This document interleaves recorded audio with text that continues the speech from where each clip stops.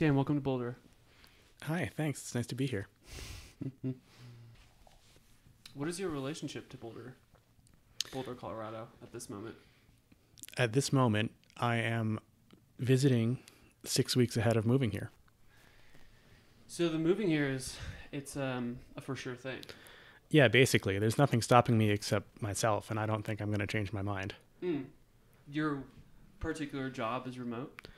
Not at the moment, but um, I've spoken to my company about it, and they've given me permission to start working remote. Oh, cool, nice. Yeah. And and you're in you're in Brooklyn now. I live in Brooklyn, and I work in Manhattan. Okay. And what is it about this move that uh, is is enticing you? I've been ready to get the fuck out of New York for a long time. Yeah. And for years, I was postponing it because I didn't know where to go. I didn't have a particular reason. I didn't have any social networks waiting for me anywhere else. So it was like, okay, I could pack up my whole life and move to some other arbitrary location that I hope has something for me. But there was no, you know, center of gravity there. Um, but just last year, I met a couple of really great friends on a retreat in Costa Rica, and they invited me to come visit them after the retreat, and I did, Mm. and kind of fell in love with Boulder. So Mhm. this is just a really lovely place. It has a really good energy. It's absolutely stunning views, and um, it just feels more congruent to my my current perspective. Mm. Mm-hmm. And what was the retreat that you met these people in? Can you talk about that? Sure. Um, the name of the retreat was Apotheosis. It was organized by the team from highexistence.com. Mm-hmm. And uh, we spent a week in the Costa Rican jungle doing all kinds of spiritual development work. So, mixed modalities. There was a lot of yoga, a lot of meditation, a lot of sort of coaching, and um, I don't know what to call them other than sort of non dogmatic stuff. Um, and the uh, the sort of central event was uh, two ayahuasca ceremonies. Mm. Um, so that was, you know, something of a spiritual pilgrimage for me, and really kind of like helped me push past the the ledge I was struggling to climb up over. Mm. Um, the visual metaphor is something like, you know, you're climbing up a hill, and at the crest of the hill is like an overhang. Mm-hmm. And to get over the crest takes one final exertion. It's a little bit harder than the rest of the climb up. Mm-hmm. But once you get there, you're at a new level. Mm. So that's sort of what I felt like that retreat was about for me. Mm. How would you describe the new level? Yeah, that's a great question. Um, I guess the way I think of levels is something like the things that you do naturally and easily that you don't have to think about, very woo way, like you know, effortless action, um, is how you know where your level is. So if you couldn't do those things before, that was because you were at a lower level. Uh-huh. When, when you level up, the stuff that used to feel hard, like you feel drained and you felt uncertain that you could even do it at all, at the higher level, you just do it without thinking about it. Yeah. Okay. And what what are some of those things in your in your life? So one of the reasons why we're sitting down having this conversation is because um, I have been exposed to your work on Twitter.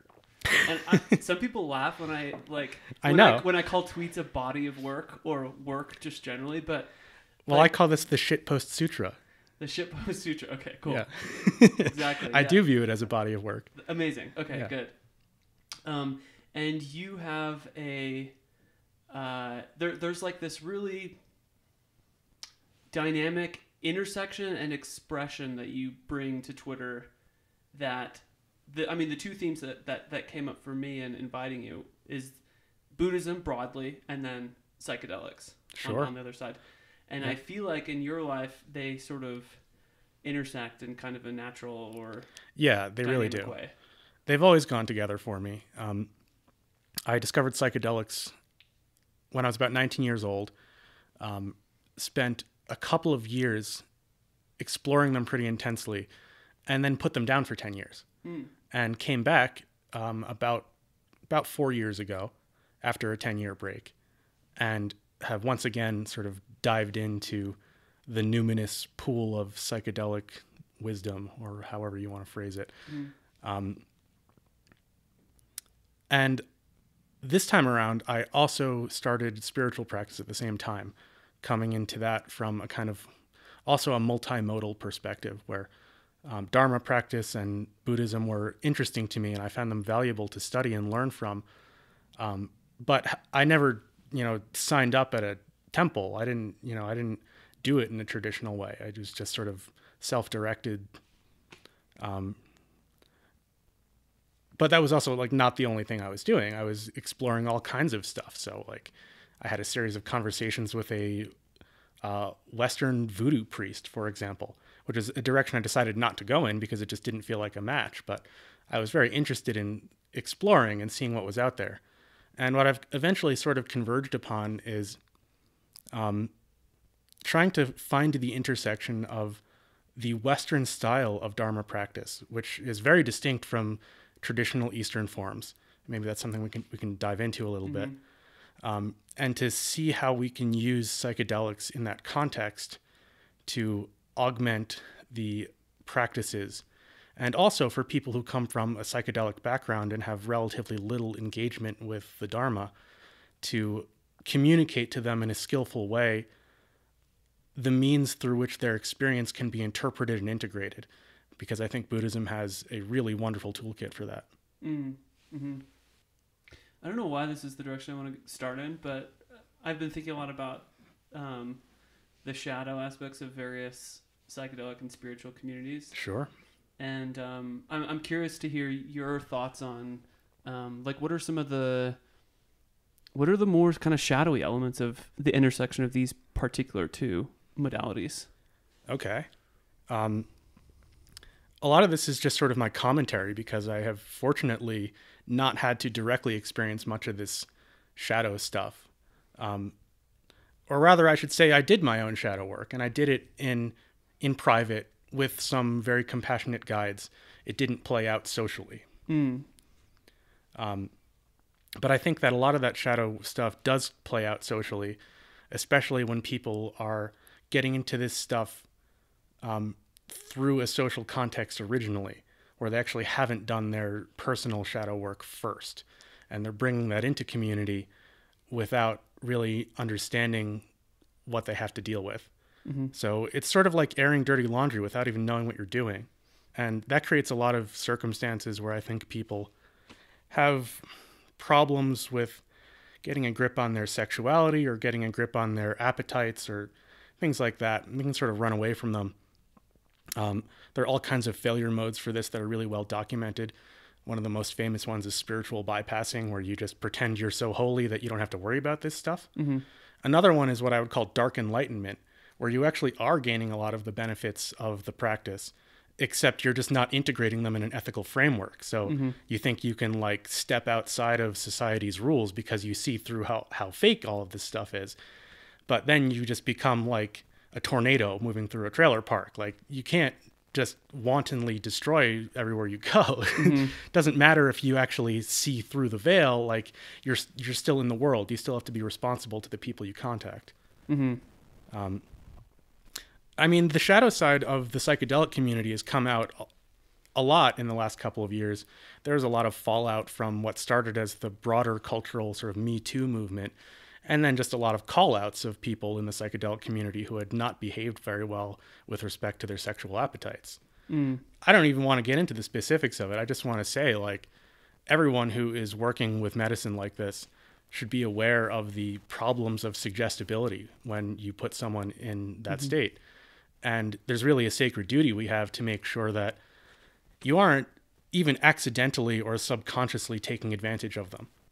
Mm-hmm. Um, the the biggest recurring pattern that I've seen is an older and more established person in the community will have access to things like space and um, business opportunities and community clout that kind of stuff. These are like resources that younger and hungrier people want access to. Mm-hmm. And the really common situation where things go badly is a younger and more vulnerable person, especially a woman, mm-hmm. will do things that they don't want to. because they think that they're going to get something they do want out of it. And then their ability to believe that they did the right thing is contingent on them getting what they wanted. And if they don't get what they wanted, they have to deal with the regret. And it feels like shit. Mm-hmm. and they gave away their agency and their power. They let someone do something with or to them that they might have wanted to go differently or possibly not at all. Mm-hmm. And they didn't get the outcome they expected or hoped for. Mm-hmm. And they couldn't have because they didn't really do it the right way. Um, but you know the the older and more established people ought to be responsible for understanding that dynamic. They do have to be aware of power imbalances and asymmetries when you're dealing with people like that. Mm-hmm. Mm.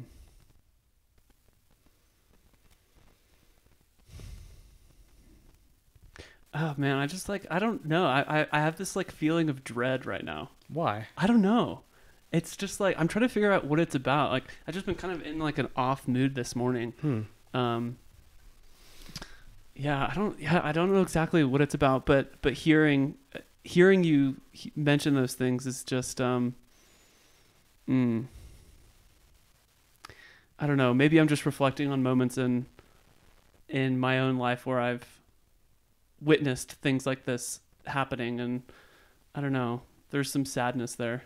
I think. Yeah, I think that's a really important point, and one of the things I think the community, in both the Buddhist communities that I've interacted with, and especially the psychedelic communities, which are newer and wilder and have less sort of ritual to hold space for these kind of emotions, they just don't know how to get people through this grieving process that happens when Mm. when there was a bad outcome, which can range anything from like, you know, um,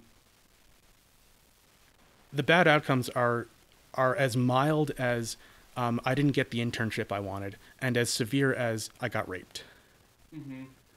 And I don't mean to like put those all on the same level. Obviously, some things are worse than others, but they really do kind of lead to the same process, which is you have to go through these stages of mourning and grieving, like, you know, denial, rage, then eventually acceptance. Um, and it really has to be done socially. I think one of the biggest problems that comes up is people feel ashamed of themselves and don't know who they can go to. And then by the time this stuff does start to come out, it's explosive. It's been built up like a pressure vessel, and the lid pops off. And it's all anger and rage and accusation. And that's just not how anything gets resolved. Mm-hmm. Mm-hmm. Yeah. Hmm. Have you had to say goodbye to any communities that have imploded before? Yeah. Um, I'm just going to deliberately be vague because it- Yeah. it, doesn't help anyone to, you know, name and shame. Totally. Um, but I will say that, you know, there was a person I was working with who was- very close to me, who was accused of misbehavior. Um, when I spoke with him about the accusations, he told me what had happened, and it's very clear from from that that some of the accusations were overblown and some of the accusations were not Mm-hmm. and it was very painful for me to have to accept that this this person had been ejected from the community that they were an important part of and that I had been leveraging to be perfectly honest this person was very well connected and it was to my advantage to be able to drop their name and get invited to things because of that Mm-hmm. um, and I wasn't able to do that anymore, which was fine. You know, like one of the things I think ends up being really important is having these resilient social networks that can Mm-hmm. that can heal after a hole has been punched in them. Um, but one of the more painful parts of that was seeing how the rest of the community reacted to them, where there was no compassion for that person, even though they had misbehaved.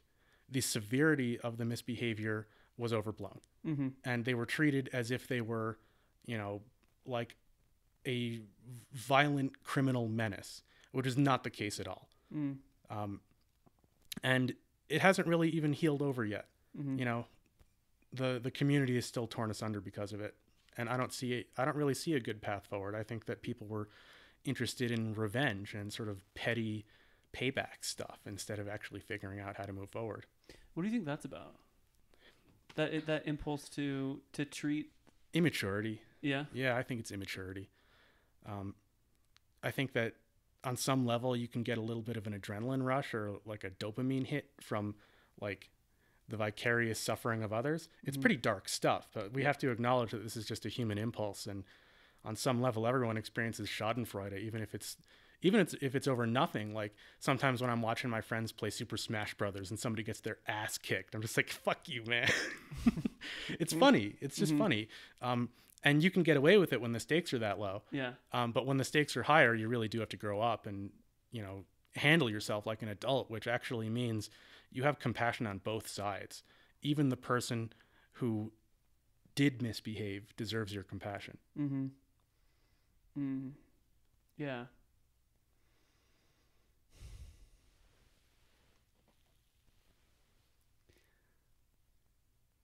Yeah, I've been thinking about the like the redemption paths or or lack thereof that people have access to in in this culture.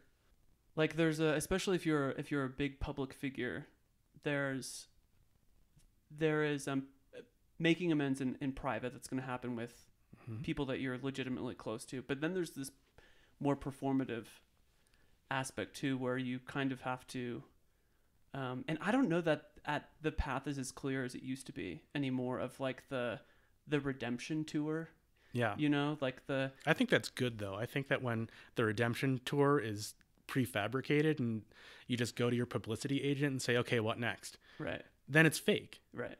Like you really do have to figure it out on your own. Yeah, there's something that that there's something that's kind of scary with that uncertainty, hmm but but it's but it also is more authentic too. Yeah, for real. Yeah. I think that the word you used was scary. That's a really good word. Um, I think one of the biggest problems that people have in our culture, America in particular, the West in general, and maybe globally, is we we don't honor fear. Mm. We we try to look away from it. We try to sweep it under the rug. We try to pretend it's not there. Mm-hmm. We don't ever want to feel afraid unless we're debasing the fear by making it entertainment. Mm. And there's a lot of fear pornography out there, which ranges from, you know, fear mongering news broadcasts where they want you to get all worked up about the economy or all worked up about North Korean missiles or whatever. Mm-hmm. Or maybe it's actual entertainment products where it's a scary movie with like, serial killers and murderers and stuff in it. Um, but the authentic experience of fear, when it's really your ass on the line, and what you're afraid of is profound loss, Mm-hmm. whether that's loss of social status or loss of life or any other thing that you value. That's a real emotion. Mm-hmm. And it's one of the hardest emotions to deal with. And because it's so powerful, it really deserves to be honored and not forgotten, ignored, debased, or made pornographic. Mm. What does that look or feel like to you? Honoring fear. Um, I think that there's a certain type of psychedelic experience that is sometimes called a bad or a challenging trip Uh-huh. that is what really happens when the medicine decides that you need to honor fear. Yeah. And I think it's one of the most profound growth experiences I've ever had. And it's, I'm going to get myself in trouble saying this, but fuck it. Um, sometimes people need a bad trip. Yeah. And I think that a lot of psychedelic guides know this and know better than to speak about it because you can't tell a client, I want to scare the shit out of you. I want to inflict mortal terror upon you. And on the other side of that, you will feel like the worst you've ever felt in your life. Mm-hmm. And that's okay because I'm going to hold you and you're not going to die really, but you're going to feel like you might have. And you're going to come out of it on the other side feeling more alive than you ever did before Mm-hmm. But you know the way out is through and people don't want to see that. They want to you know they want to they want to go around it. They want they want an easy path or or a bridge that somebody else built. But you know no there isn't one. You go into that chasm yourself um, and it's yours. Everyone has one. Mm-hmm. so i think honoring fear means being willing to have a bad trip in a psychedelic experience and maybe even sometimes arranging your set and setting so that you're in you're inviting one. Mm-hmm. Um, I mean, Terence McKenna was very famous for his, you know, uh, exhortation. Said, five dried grams in the silent darkness all by yourself, right? Um, he wasn't wrong. He wasn't wrong. It's intense, and you know, sometimes you you might balk at the thought of it. You might you might really recoil from it because it's fear. That's what fear does to you. It would be it wouldn't be fear if it was too easy to look at, right? That's how you know you're dealing with the real thing. Um, I'm remembering a story Allan Badiner told me last time I went to an event that he was speaking at, and he said he had visited Terence at the Hawaii house when he was there, and Terence just handed him a potion, which was, I guess, a homebrew of ayahuasca or something like that, and he didn't give him any coaching for it. He just said, "Drink up, and I'll come find you in the morning." and he did, and he was scared shitless all night long. Um, he, he said, you know, this must have been 25 years ago, and he was still, you know, barely able to talk about it without his hands trembling. Um, that's how powerful it was, and I'm sure that like while he was in that, he he was, you know, really not happy about it. But the way that he tells the story now made it very very clear to me that that was one of the most important things that ever happened to him Mm. that being able to come to terms with the loss of control the need to accept everything that happens to you as it's happening without trying to pull away from it or keep it out Mm. right Uh, the, the, okay, so I'm I'm finding a thread for some sort of um explanatory thread for where the Schadenfreude sometimes comes from, yeah and I think it's when people massively fail in public. There's there's a lot of risk that's associated with that, mm-hmm. and a lot of fear yeah so so when people are are putting themselves out there and failing on a massive scale whether it's whether it's through their own personal shadow showing itself or you know or or, or however it shows up there's like they're confronting their fear in some uh grand or public way.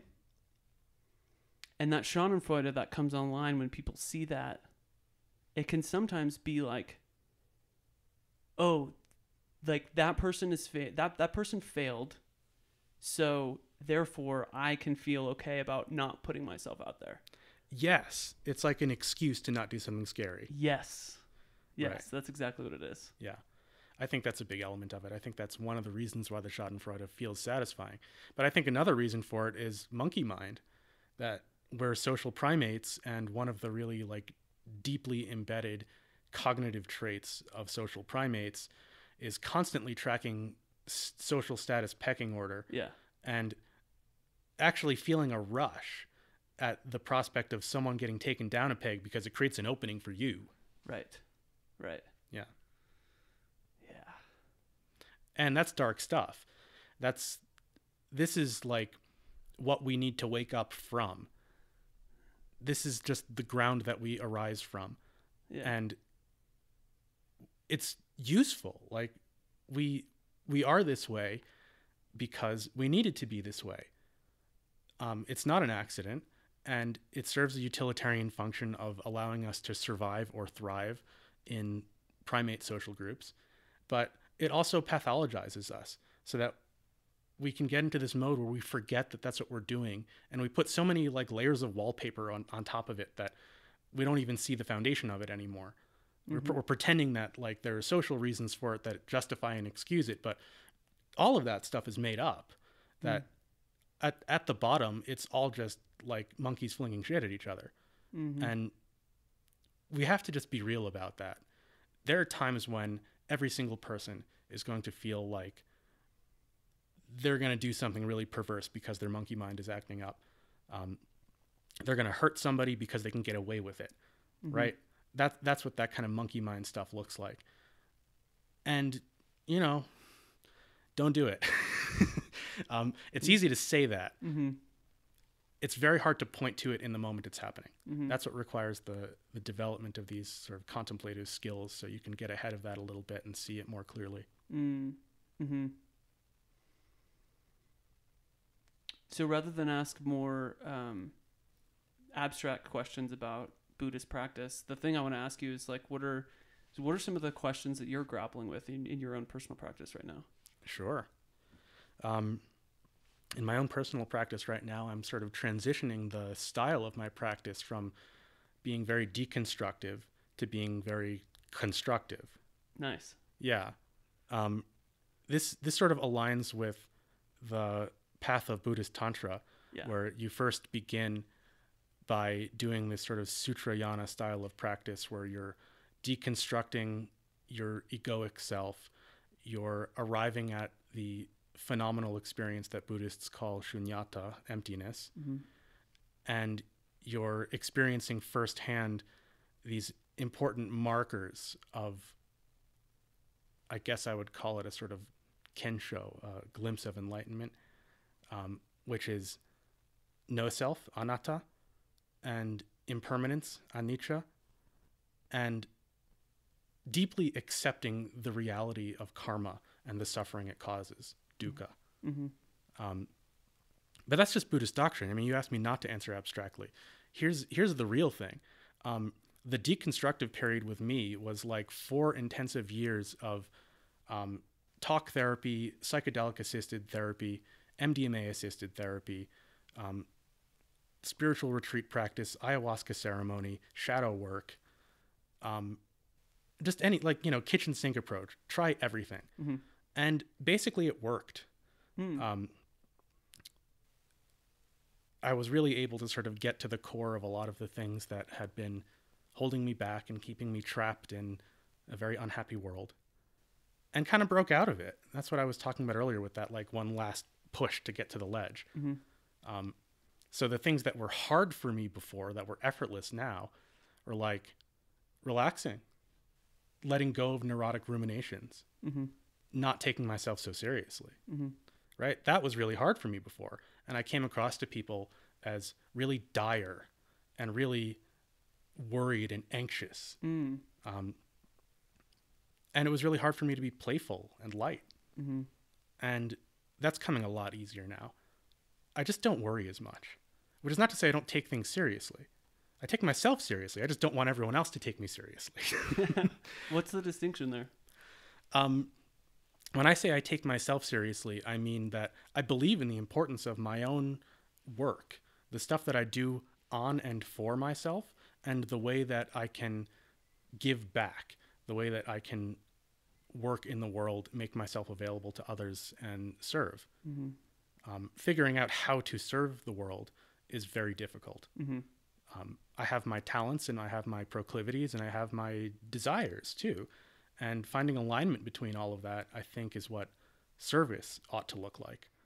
Um, and that's sort of where I'm at now. That's this construction phase, which is moving into a more Vajrayana or tantric style of practice, where it says, okay, now that you know that you don't have to be as you were, that it wasn't essential, that it was just circumstances and conditioning, you can build from that. Mm-hmm. You've found the ground.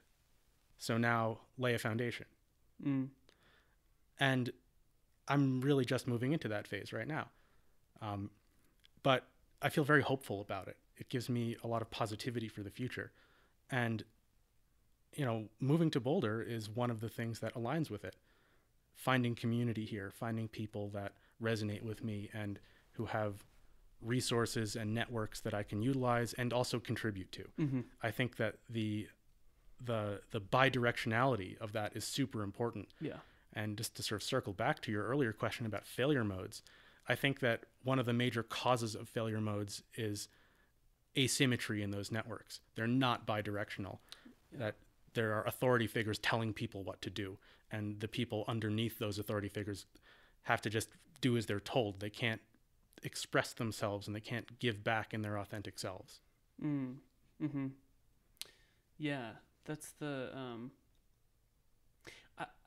guru guru mode is like people are always going to fall into I, I mean i don't know about always but people people will get will get stuck in these guru traps these like psychologically abusive relationships but we also like the modern mind is also much more skeptical Yes. to that Yes. dynamic now Right.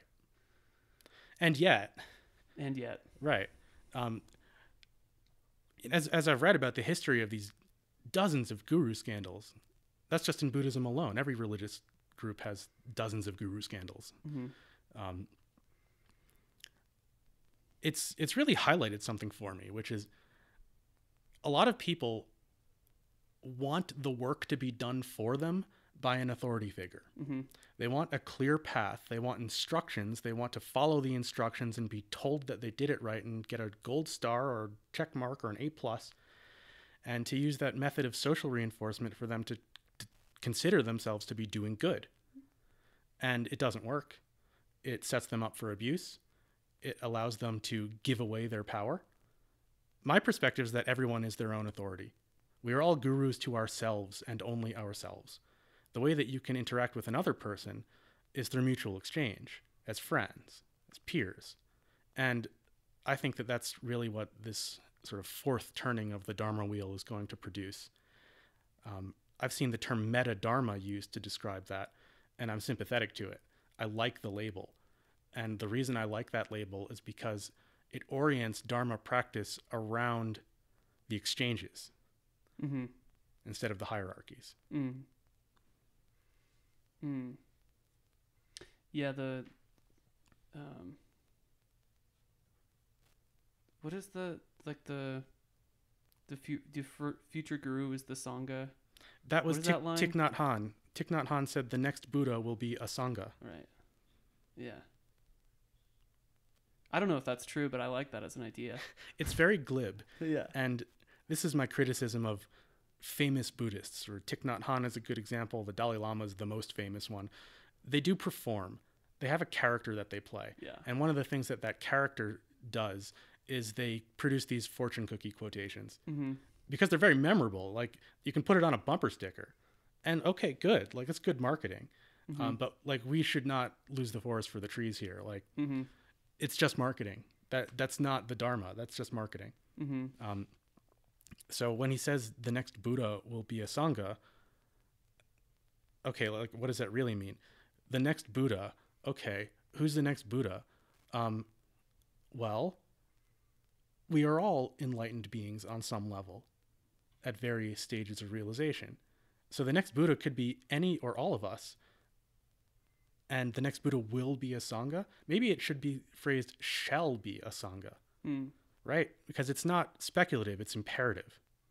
Mm. Um, we're all in this together, Mm-hmm. and the more we wake up and see the state of the world and see the consequences of disconnection and atomization, the more obvious that becomes. We are all in this together. Um, there is no enlightenment for anyone unless everyone does it. Mm-hmm. Um, if you're doing it by yourself, then well, congratulations, you found some state of being that feels really good, and you you're very carefree and blessed, and you can accept absolutely anything that happens to you without breaking a sweat. And cool, go float through your life. That's awesome. Um, on the other hand, what if you turned away from that, marched back into the city, and figured out the best way to tell everyone else that they had to start their path to? Mm. That's hard to do. that is really hard to do. Mhm. Like, who the hell are you to do it? Mm-hmm.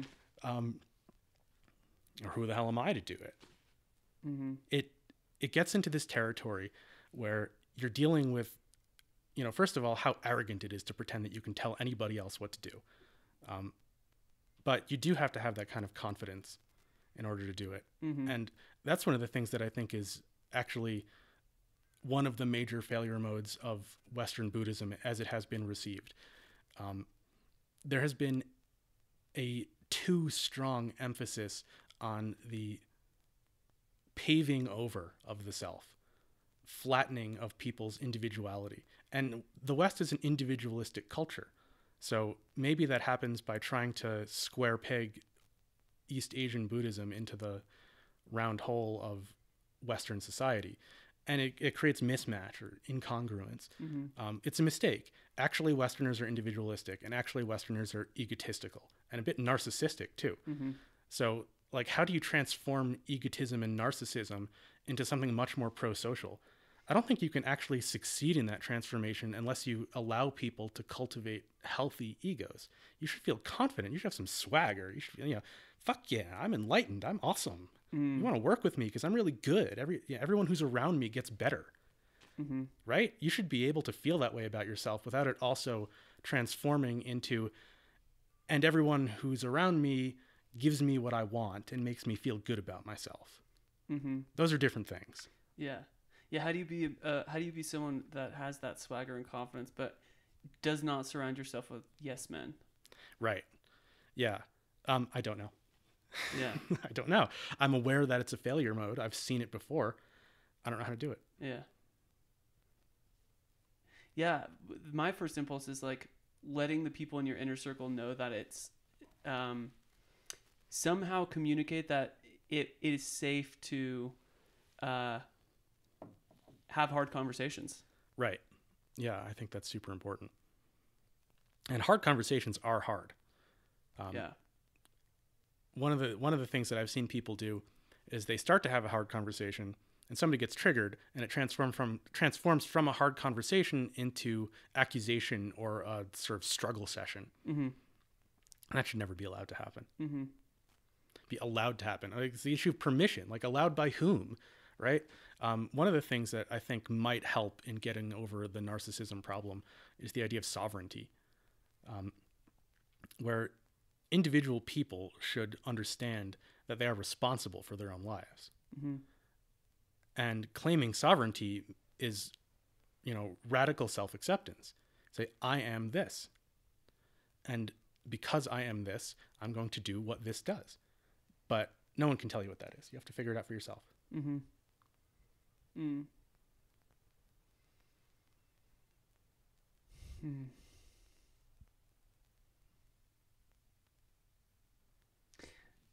I kind of want to double click on that the swagger piece. Yeah, and let's go. it, actually is directly related to this more constructive spiritual phase that you find yourself Mhm. moving into. It's like, what do you want to create? Right. um, which also relates to there was this thread on Twitter that I pointed to. It, it was it was in in response to um, fashion and sort of like self expression. Yeah, expression. yeah, sure. You know what I mean? Um, so yeah, like how how do you how do you express yourself in a like full embodied playful way without the narcissism? Yeah. I mean that I'm gonna I'm just gonna have to give you an incomplete answer here because it's Yeah. like work in progress. Um, the Twitter thread that you're referring to, I think, was um, a, another person had asked something like, "How do you want to see yourself?" Or "What image do you want to project into the world?" Yeah. something like that. And I I said, I want to be seen as a very very stylish, put together, distinctive, and iconic man. Mm. Yeah. And I and then I said, and I don't think I'm there yet, but I'm working on it, and I think I'm getting better at it. Yeah. Yeah. Uh huh. So that's what I'm thinking of is like how to be stylish and put together and iconic so that when like if somebody could see just a silhouette of you, they would know it was you. They wouldn't even have to see your face. Yeah. And like part of it is role modeling, right? Like um David Bowie. Yeah. right? One of the most astonishingly talented male glam icons Yeah. that that I can think of. Um, and he did it in a very idiosyncratic way. There's nobody like him. Right. Um, he's got imitators. He's got people that he inspired, but he's a self-created person, an icon, Yeah. and you can't buy that off the rack at a store. Yeah. Um, so when I think about how to do it for myself, it's like the full spectrum. How do I want my body to look? What kind of clothes do I want to wear? How do I want to smell? How do I want to Yeah. interact with people? What what effect should my voice have on people? Yeah. That kind of stuff. Um, so it's really it's everything, and you know like just last year, I started just changing my relationship to clothing, Uh-huh. where I'd spent most of my life very frustrated with clothing, found the shopping experience to be a bad one. It felt sort of humiliating. Uh-huh. Um, I was very uncomfortable with my body. This is an audio interview, so people can't see me, but I'm holding my slightly chubby belly right now. um, and f- I felt a lot of shame over it, body shame. Uh-huh. And I had to get over that. It's not easy to do. Yeah. Um, and I'm not sure I'm entirely over it yet. Yeah, how do you get over it? Yeah, right. Um, I mean, some of it is is you need positive reinforcement. Um, it's very very easy to find negative reinforcement over your body in this culture. Mm-hmm. Um, we're very superficial, and we have a lot of uh, media imagery that shows people looking unrealistically beautiful, which can be because these are genetic lottery winners who look a way that you will never look in your own body, or because it's literally artifice. It's you know Photoshop. Um, where no, there's no human who looks like that. It's actually a constructed image. Um, They're like they're they're like platonic forms. right, right, pretty much, Yeah. literally statuesque. Yeah. Um, so you know, one of the things was just sort of dropping that. I I was never too deeply sucked into that. So my own particular issues were more around the way I would feel humiliated when I would try to go clothes shopping, not be able to find any clothes that felt good on my body. The ones that looked good on me were very uncomfortable to wear, and the ones that were comfortable to wear looked bad on me. Mm. Um, and that led to a lot of years of yeah, maybe I made the wrong decision. I should have bought the uncomfortable ones instead. I bought the ugly ones. Mm. So I just looked like shit. I was constantly, you know, walking around in uh, clothes that were half a size too big and baggy and not draping well. Um, made me look even chubbier than I actually am. Mm-hmm. Um, another part of it was not having a clear grapple on my own masculine image Mm. which is to say, I'm not really good at conforming to conventional masculinity. I, I would label my gender as lunar male, Mm. whatever the hell that means. Mhm. Interpret it as you want. Yeah. Um, and I had to just own that. I really did. So I started experimenting with it and sort of glamming it up a little bit. I started painting my nails, for example, Mm-hmm. and discovered that I really liked it. It made me feel pretty. Mm. And I do mean pretty. I don't mean handsome or bold. I mean pretty. Mm-hmm. And had to get over the cultural baggage of men should not feel pretty. Mm-hmm. But no, actually, I do like feeling pretty. I like I like that feeling of being sort of delicate and you know glamorous, Yeah. which is very feminine. But Yeah. that's okay. Well, there there is something about that like trad masculinity that feels like it's um, they're like you should be this way. Like come into this cage with me. Yeah, Like the like here are the appropriate bounds of like what it means to express yourself in a masculine way, and I I find that the more um like vehement people are in defending the way that they express themselves, the more trapped that they actually feel. yeah, yeah, totally. Um, so I had never gotten sucked into that very narrow cage of traditional masculine expression. I was like stuck on the outside of that, looking at it as if it was the only good way to look. Mm-hmm. uh, and that that was what I had to get rid of. Is to turn away from from that image. Say, I'm I'm not trying to look like that. I'm not trying to look like Brad Pitt or whatever, you know, Mm-hmm. traditionally attractive male icon you can think of. Um, and then, I mean, of course, the positive reinforcement stuff I think has to be reemphasized. What I really, really needed to hear from people is that when I would express myself in the way that I wanted to, that felt comfortable to me, that other people liked it too. Mm. And had to be in the right environment for that. Mm-hmm. Um, so finding myself in social groups and communities that were more accepting of the way that I felt comfortable being. And what that means is like hanging out with a lot of queer people for me. Mm-hmm. I'm not saying this is a universal experience. I'm saying like sort of coming out a little bit has been really transformative for me. Mm. Um, and again, it's like interpret that as you will. Mm-hmm. Whatever whatever level of queerness I am is a work in progress. Hmm. I, I try not to self label or, or plant a flag in any specific identity. Mm-hmm. all You're- I'm all I'm saying is the more I express myself, the kind of weirder and further from the mainstream it gets. Nice. Yeah. Yeah.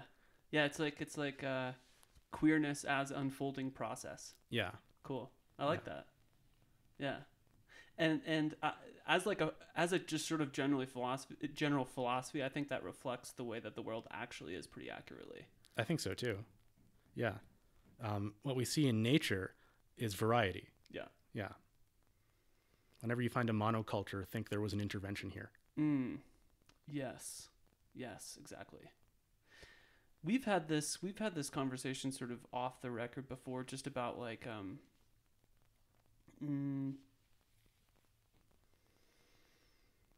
um about like secret society Yeah. like um i'm trying i'm trying to figure out like where where it fits in um uh like okay communities that aren't part of the larger monoculture hmm the eh, well a the importance of having places where those are allowed to exist and thrive Yeah. but b also like how to interface with the monoculture Right. What what aspects of that expression need to be kept secret That's a great question. I don't think I have a good answer for it. Hmm. Um, I think that everyone should be worldly enough to understand the consequences of being on the wrong side of a rage mob. Mm. Um, we have a mass scale society with a very strongly socially enforced mainstream culture. The nice thing about America in 2020 is that it's really mostly social enforcement. hmm Um, have not seen in my lifetime the level of violence that my ancestors experienced. hmm Um, my ancestors were Ashkenazi Jewish. They came from Eastern Europe. So Mhm. they got the worst of it, the worst possible. hmm Um, but lesser versions of that show up all over the place, where it's very, very easy for mass societies to make scapegoats and blame them for everything. Um, so, a group that's inherently out of the mainstream for whatever reason will have to be very careful about not being too obvious of a target for scapegoating. And, like, that sucks, right? This, this is just a harsh reality. I really wish the world wasn't like this. But we have to be savvy to it. We really do need to understand that like a certain amount of of deliberate stealth and taking care to know when, where and how hard to push boundaries is necessary. hmm If you do it wrong, you end up crucified. hmm Um, but yeah, I mean, I, I think that because the mainstream culture can be so kind of oppressive with its conformity, you're generally not free to act and you're not free to do that kind of personal development that's necessary as part of the waking up process. I think that really the best containers for this process are small, subcultural, and secretive. hmm It's funny to say it. Um, but yeah, here we go. This is an active endorsement of um, shadowy cabals. Fuck yeah. yeah. I'm a huge supporter of that. Yeah. Right. And and working with psychedelics, it actually trains you to, especially in a context where they're not legal. So you you have to figure out what to say and who to say it to. Yep. Mm-hmm. And in an era where there's like mass surveillance and generations coming up who don't really have the same relationship to privacy that earlier generations used to have. It's like how do you teach that? How do you teach what to keep? If you're To if you're a kid who was raised on the internet with a with a smartphone in your hand since you were five years old, Yeah. like maybe part of their process is learning how to establish personal boundaries that they never learned in the first place. Right. Yeah. Yeah. Hmm. Yeah, I'd be curious to I'd be curious to hear or, or, to see what what sorts of those um like burgeoning online subcultures are happening in private Yeah. Slack groups or discords or something. Right. Well, I mean, this is like the frequently remarked on real secret of using Twitter. Um, you have the broadcast aspect of the platform, which is really good for finding people. But when you want to go deep and get to know them, you first you switch to a direct message, and then you eventually migrate to a Slack or a Discord or something. This is how it actually works. It's like I like I like the image of the mycelial network where Mm. the above ground part, the fruiting bodies, mushroom, pops up at the right opportunity to distribute the spores and, you know, get the culture spread far and wide. But what's really happening, the actual body of the organism is underground. Right. Right. Yeah. Yeah.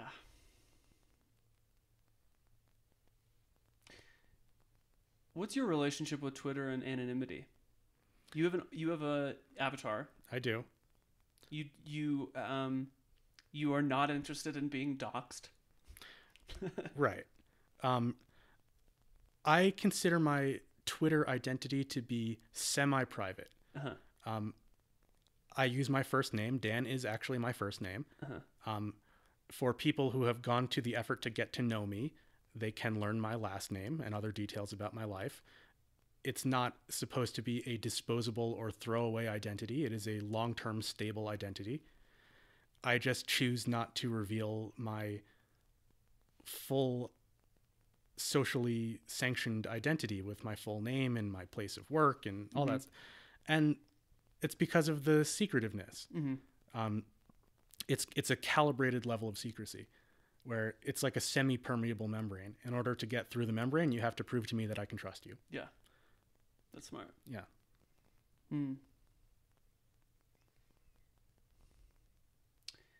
What are situa- maybe you can tell maybe you can talk about a specific instance, but what are maybe you can think of a moment or um, an event that happened on Twitter where you were really grateful for this level of secrecy. Um, I mean, I tend to be pretty well behaved on Twitter anyway, so I have not like shot off my mouth and attracted a hate mob. Uh-huh. Um, what I do sometimes find myself doing is sort of the opposite of that, where if I'm in a bad mood, I'll like be a pest. I'll be a kind of cantankerous reply guy for a few days. And I see myself doing it, say, you know what? I, I'm glad that I come across as this sort of mask wearing shit poster where it makes it easy for people to not take me too seriously and not like form a permanent association with my with my more candid identity about it. So it protects me from myself. Ah. Interesting. Can you say more about that? yeah, sure. Um, I think that the secret to unlocking the power of Twitter is to understand that everyone is performing. There are social masks that everyone is wearing, including real name accounts with blue checks, Mm-hmm. um, Probably especially them. especially them. Yeah. And what I found that I could do for myself was to put on a mask so I could really be myself. Mm. that the level of guardedness I felt when I was contemplating using a real name account with my face instead of a semi anonymous account with a cartoon avatar. It's the Cheshire Cat, if you're wondering. Um, is that I, I didn't have to censor myself. Mm-hmm. Um, I could I could actually speak my mind and say what I wanted, and use that as an opportunity to be attractive to the people I wanted to attract. Mm. And that's another thing that I really want to emphasize about about using any social media platform, but especially Twitter, because Twitter is less structured and more algorithmically influenced than a lot of platforms are.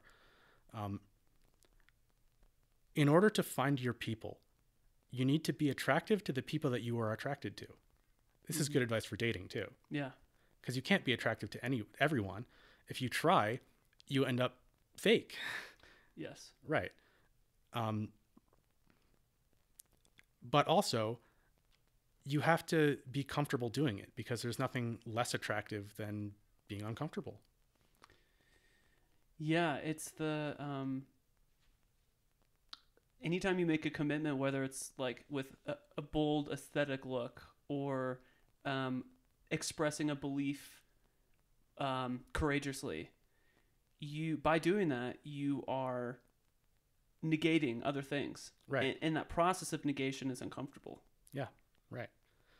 Um, there's a kind of possibility space that we all inhabit. And one of the things that I have sometimes wondered about my Twitter presence is whether people think that I have secret alts or not.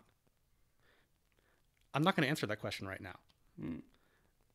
but I do wonder because I have enough of a consistent presence on on the account that people know me from that there are some things that I might want to talk about and I don't because they're sort of off brand. Hmm. Um, so what do you think, Collin? Mm. What do I think about what? If you have So- secret alts? Well, yeah, sure, you can take a stab at that though. I'm not going to answer it. Uh-huh. But like like how important is it to stay on brand? How important is it to stay on brand? I mean, that's a good. That's a really great question. Um,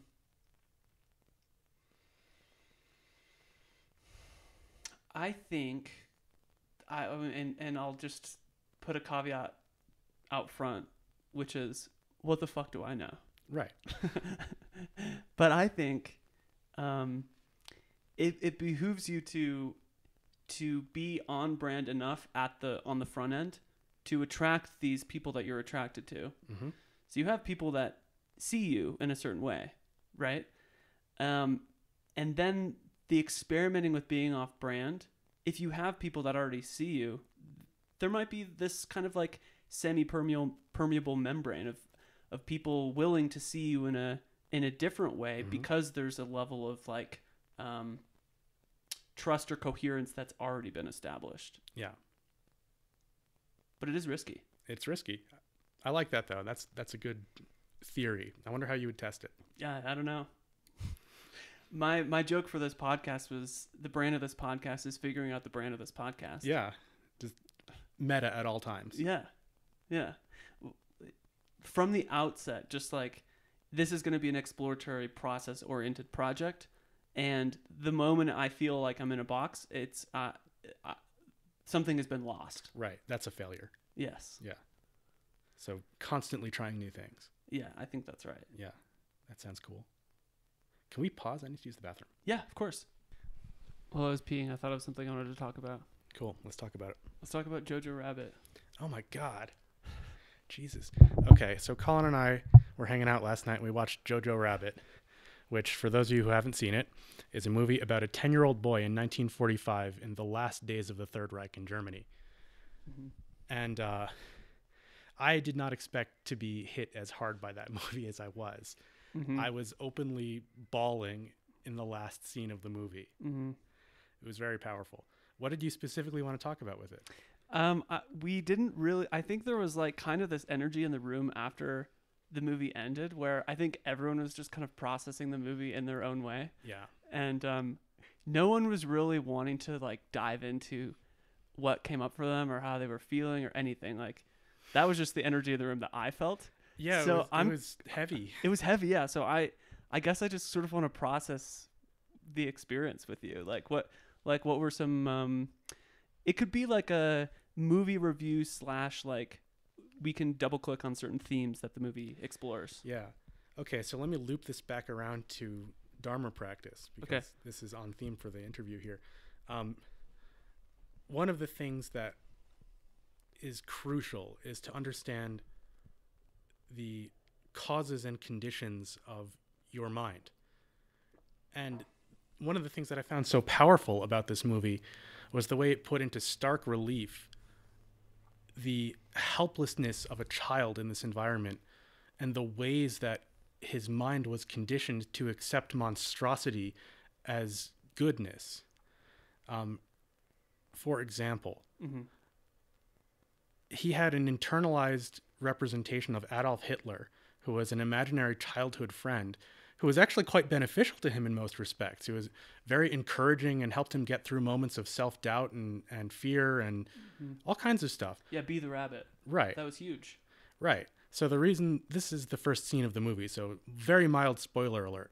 Um, the reason the movie is called Jojo Rabbit is because at the opening sequence of the movie, Jojo goes to Hitler Youth Training Camp where they're basically training child soldiers, which is pretty bleak.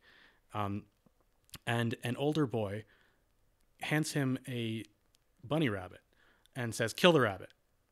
Because you have to be a killer. We're training you to be killers. So kill this rabbit. And he looks at the rabbit and he can't do it. And he runs away. And they make fun of him very viciously. And then his imaginary Hitler friend says, No, that was good actually. You followed your heart. You're not a killer. you freed the rabbit. That's the kind of person you are. Mm-hmm. Be the rabbit, free the rabbit. Mm-hmm. And those words coming out of the mouth of this sort of cartoony version of Adolf Hitler, right? this is this is extraordinary. Yeah. So like here's the backdrop. There's an inner self that Jojo has that does have morality and goodness. Yeah. And the whole thing is dressed up in the clothing of Nazi Germany. Yes. And I think that we all need to have this sort of realization that our minds are populated by mental furniture, images that come from the society we're embedded within. Uh-huh. And it's just costume. You can take the costume off of all of that and find what's underneath it. And you have to. You have to. That's where you'll find your goodness. Mm-hmm. Mm-hmm. Mm. Yeah. Yeah. I loved that. Um, I mean, the the casting was so brilliant, but Yeah. the the the woman who plays the the Jewish girl who's hiding, Yeah. I particularly enjoyed her. Yeah. There was something that was like, uh, um, I don't know, just her like uh, her confidence and the way that she went toe to toe with with the kid and Yeah. I mean, the thing that struck me the most about her character was she was simultaneously the most courageous a person can actually be. You know, facing the destruction of your entire world and death and horror every single day. And then also, she was a terrified teenage girl. Mhm. And the actress was marvelous. She portrayed both of that at the same time with no loss of subtlety or power in any of it. So, yeah, the acting was fantastic. Um, I think that's another thing that it really should be pointed at. Um, courage comes from vulnerability. Mhm. Yeah. You can't consider yourself courageous if you were always going to succeed, if there was no doubt. You have to understand just how much danger you're in. And it might not be the mortal danger of, you know, the Gestapo are going to find me and kill me in a camp. It, it could just be the the fear of I'm going to make a fool of myself and my friends won't like me as much. Mhm. But that is a legit fear. And it should not be downplayed just because it's not the worst possible thing that can happen. Mm-hmm. Mm-hmm. Yeah. Yeah, or I'm afraid I'm I'm afraid that I might not be able to make rent this month or Right. you know, I'm afraid that my parents will disapprove of my life choices or whatever it is. Mhm. And it requires that courageous vulnerability to ask for help too. Yeah. Yeah. And that's what I think so many people don't do when they really need to. That actually people are very compassionate and want to be good.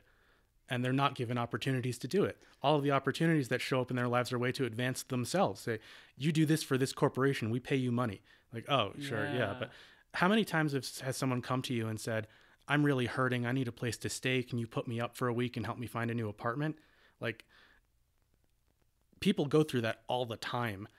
And how many people do you know who ended up in a really shitty situation with terrible roommates because they were afraid to ask their social network to help them with that? Right. I've seen that many times, especially in New York because housing is so difficult there. Yeah. Right. So please ask for help. Yeah, I, I like the I, I want to like further tease out this reframe. Like not not asking for help is actually doing both yourself and others a disservice because you're not Yeah. giving them an opportunity to exercise their compassion. Right. That's right. Yeah. And it's cowardly. You're running away from your fear of failure or shame or whatever. Mm-hmm. It, it requires courage to ask. Mm-hmm. Let's talk more about men and masculinity. Sure. I'm just thinking of of uh, just the pernicious social conditioning that can sometimes happen with boys and men of, of thinking that asking for help or thinking that showing weakness or vulnerability is uh, is to be avoided. How do we grow up more like pro social boys? Yeah. Right. Yeah. So let me share a, a painful moment from early in my childhood. Mm. When I was a kid, I went to summer camp. And one year, my parents sent me to a summer camp that was very, very boyish. Um, it was gender segregated. So there's a girls' camp and a boys' camp. Mm. and the boys' camp was very, very into competitive team sports. And we were little kids too. I'm talking like six or seven years old. So, like this is this is too young to have actually like played at a varsity level or something. It's just this is just the culture of the camp. It's a really bad fit for me, and I don't understand why my parents sent me there. Um, one one of the things that happened was we had a few days ago before the incident gone to see this movie called A League of Their Own. I'm dating myself now, in case you're wondering. This is this movie came out in like 1993 or something. Is it Tom Hanks? Yeah, Uh-huh. he's in that movie. Um, and there's a scene in the movie where he is coaching his all women's baseball team. The movie takes place during World War II, and all of the men have gone to fight the war, and the women at home are playing baseball to you know provide entertainment because there was no Major League Baseball and whatever. Um, Tom Hanks is their coach because he's a dysfunctional alcoholic and wasn't accepted by the army. and he's a mean bastard. This is the character. So there's the context for it. But as a, as a six year old, I don't think I really understood that context well. He didn't seem like a drunk, loser, mean bastard to me. He just seemed like a sort of stand in for a father figure, even though he was a really bad father figure. And um, one of the women on this baseball team um, does a feet first slide into third base. And they had them in these really impractical uniforms. They're like mini skirts with no stockings. So she scraped up her legs doing it, and it really hurts. And she starts crying because it's painful. And Tom Hanks, or whatever his character's name is, the coach comes over and he says, What are you crying? There's no crying in baseball. And just mocks her and humiliates her. And when I've rewatched the scene as an adult with adult eyes, I see the subtlety in it. It was actually set up to show that Tom Hanks was an asshole. And she received the emotional support from her teammates, the other women that treated her the way she needed to be treated with empathy and compassion. Um, but as a child, I didn't see that nuance. And the camp counselor that so, that took us to the movie was a great example of a sort of toxic masculine figure. He didn't see the nuance either. He was very sympathetic to Tom Hanks, and he decided after coming back from that movie that he, it would be really funny to yell at a six-year-old boy who was having trouble playing baseball, saying, "What are you crying? There's no crying in baseball." I was a very emotional child, Mm. so I think something very similar happened. I, I have this memory of running through the outfield trying to trying to chase after a pop fly ball and it was wet slippery grass and I slipped and I face planted and I started crying not because I was hurt but because I was shocked and kind of embarrassed. And I got yelled at for it by this asshole of a camp counselor who was imitating this asshole of a coach in the movie. And it's just an example. Are many incidents like that throughout my life, and my life is not unique. This is actually fairly typical. Um, I wanted to bring up the story because it shows that even relatively well intentioned media can be subverted by this unreconstructed toxic masculinity, where what's latched onto as the interesting and fun part is the cruelty, the infliction of emotional suffering on others, and the dominance behavior. Mm-hmm. And even though the movie did actually try to portray that negatively, the cultural context that I was living in while this happened to me was not capable of parsing that. Mm. And so the message that was delivered to me was fuck you, Dan. You're a loser. You're weak. And you shouldn't play baseball anymore. And I didn't. I never played baseball again. Mm-hmm. Hmm. this is the problem that we're facing in our society right now that when people experience moments of difficulty. And this is not a serious difficulty. This is like just being a clumsy kid. Everyone's a clumsy kid. Mm-hmm. that instead of like holding people through their moments of difficulty picking them up saying that's okay. Try again. We ridicule them and make them feel bad because they didn't do what we wanted them to do. Mm-hmm. Mm-hmm. and it's just dominance behavior. That, that that's where the toxicity comes from is the attempts at domination. Mm-hmm. Yeah, there's like the like the healthy masculine or healthy feminine uh, or the health like the healthy mother, healthy father hmm archetype, Sure. and the that energy that holds that holds you when you're when you've fallen down and gives you this unconditional love. This is the more sort of magical energy. Um, the healthy ma- uh, the healthy masculine or the healthy father feels like a little bit more difficult to parse out just because I, I don't know I mean this is me just speaking from my own experience like I just don't know that there are that many examples of it being expressed in Yeah. in a in a healthy way. Right. They're few and far between. Yeah, and it's like Actually, I've got I've got a hypothesis. Let, let's see if we can test this. Um, spending no more than ten seconds to think of examples. List off um, the first, you know, first several examples of healthy masculinity that you can think of. mm, Gregory Peck in To Kill a Mockingbird, Atticus Finch, Sure. Mufasa maybe. yeah, Mufasa and Atticus Finch. That's it. And those are both fictional characters. Do you think of any real people? Hmm. Yeah, I I mean I do have one person in mind, but his energy is very specific. It's a very specific archetype. That's fine. Who is it? Uh, Alexander Bard. I'm not familiar. Hmm. Yeah, he's a Swedish philosopher who is kind of embodies like a crazy wisdom archetype. Cool. But he does a lot of uh, really amazing men's work in Europe primarily. Yeah. Okay. Yeah. So this is not a very well-known figure. Um, I think he's he's well known in Sweden. He he is he actually is the, um, he he is on like the Swedish version of American Idol. I forget what the show is called, but he's like the Simon Cowell figure on that show. Okay. So he's like he's a he's like a a, Swedish celebrity. he's a mid-tier Euro celebrity. yes, Got it. yeah, Cool. The one I was thinking of was Fred Rogers. yeah, Yeah. nice. But it's very hard to think of examples. Yeah, what is it about Fred Rogers that makes him so special? We could talk for a whole hour about just that. Um, let me try to be concise. He emphasized very heavily two different things that I find to be male aspects of compassion.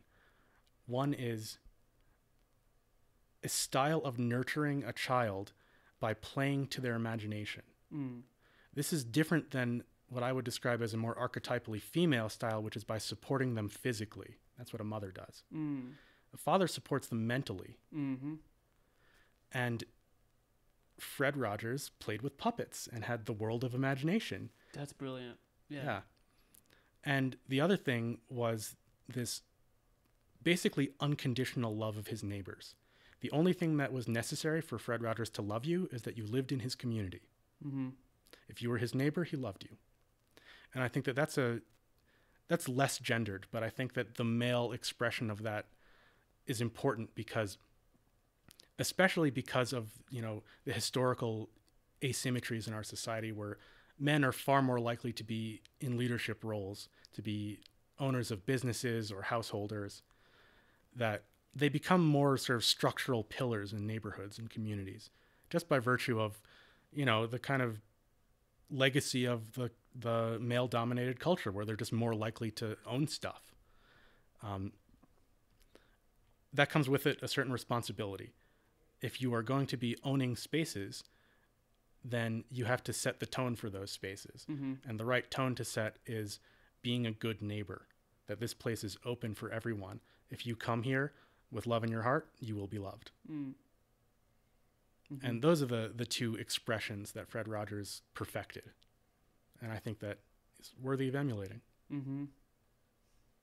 Yeah, there's. I mean, there've been a couple. There have been a couple Mister Rogers. Uh, there's that movie that just came out, and then there was a documentary that came out. I think. Right. The, the movie that just came out was also starring Tom Hanks, so we get to see Tom Hanks on both sides of the, Yeah, the coin exactly. here. Tom Hanks is a toxic male, and Tom Hanks is a what's the opposite of toxic? Healthy, integrated male. Yeah. Yeah. Exactly. Yeah, I I haven't seen I haven't seen either of them just because, um, a couple years ago in a trailer for that documentary, uh, popped. I was in I was at the Alamo Draft House in Brooklyn watching some movie and and the um, that trailer came on, and I just started openly sobbing in in this theater, just like so much emotion came up just by watching this trailer, Yeah. and um, and uh, I think part of me hasn't watched, decided to sit down and watch that documentary because I'm, I think I'm afraid of all the emotion that will come out. Watch it. Do it. Did you see it? Yeah, it's good. Okay, cool. Yeah. and it did a good job of humanizing him too. Because it's Yeah. too easy to put him on a pedestal and say this man is a saint, this man is a bodhisattva. What? No, he was a guy. He was a man. Yeah. He didn't do anything that the rest of us aren't capable of doing. Uh huh. Yeah. What what's what are some of his like more human moments? Um, I mean, I think that he had a lot of complex family dynamics that were not that easy to deal with. Uh huh. I think that it was easier for him to play this role of nurturing man to other people than it was to his own sons. Uh yeah. Yeah. Yeah, that's kind of like the Martin Luther King dynamic too. Right. Problematic interpersonal family difficult dynamic. marriage. Yeah. Right. Though I think in the case of Fred Rogers, he had a great marriage. His wife was a very good match for him. This is with his, his boys that he had trouble with. Mm. Yeah. Hmm. I'm feeling pretty complete with this with this conversation. Is there anything else that is top of mind, or anything else that you want to explore? I'm happy to keep going, but uh, yeah, that seems like a pretty good stopping point. Okay. Yeah. Cool.